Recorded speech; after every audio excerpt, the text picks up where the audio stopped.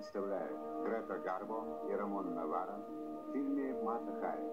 Автор сценария Бенджамин Глейзер и Лео Беринский. В фильме также снимались Лайонел Берримор, Льюис Стоун и другие.